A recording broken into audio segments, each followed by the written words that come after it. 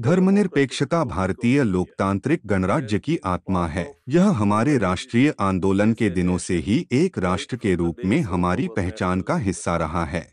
विभिन्न धर्मों से जुड़े लोगों और जो किसी भी धर्म का हिस्सा नहीं थे उन सबने हमारे स्वतंत्रता संग्राम में सक्रिय भाग लिया था। यह राष्ट्र समान रूप से सभी लोगों और भारतीय समाज के सभी वर्गों का है।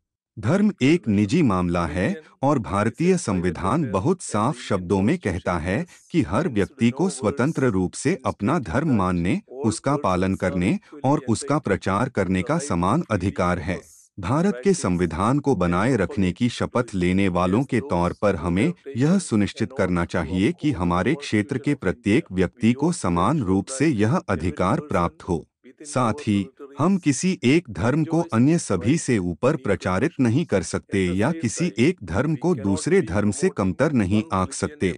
जैसा कि हमारे पहले प्रधानमंत्री पंडित जवाहरलाल नेहरू अक्सर कहते थे, भारतीय धर्मनिरपेक्षता का मतलब है धर्म और राज्य को अलग रखना। इस अलगाव को बनाए रखने की हमारी एक मज़बूत परंपरा भी है। हालाँकि हाल ही में धर्म और राज्य को अलग रखने वाली लेकर लगातार धुंधली होती जा रही है। यह उस समय से एक बड़ा विचलन है, जब हमारे संवैधानिक पदाधिकारियों को धार्मिक आयोजनों में भाग लेने से आगाह किया गया, क्योंकि इससे एक धर्मनिरपेक्ष राज्य के रूप में हमारी साख पर असर पड़ेगा। अब हम ऐसे समय में आ गए हैं, जब देश में किसी धार्मिक पूजा स्थल के उद्घाटन का जश्न एक राज्य प्रायोजित कार्यक्रम की तरह मनाया जा रहा है। हम में से अधिकांश को ट्रस्ट के प्रभारी द्वारा अनुष्ठान में भाग लेने के लिए आमंत्रित किया गया है।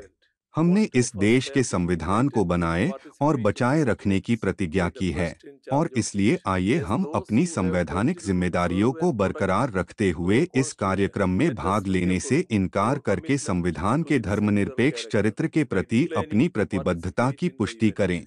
इसे धार्मिक, भाषाई और क्षेत्रीय विविधताओं से परे भारत के सभी लोगों के बीच सद्भाव और भाईचारे की भावना को बढ़ावा देने के अवसर के रूप में देखा जाना चाहिए आशा है कि भारत वैज्ञानिक स्वभाव, मानवतावाद और जाँच और सुधार की भावना के आधार पर विकसित और समृद्ध हो and the spirit of inquiry.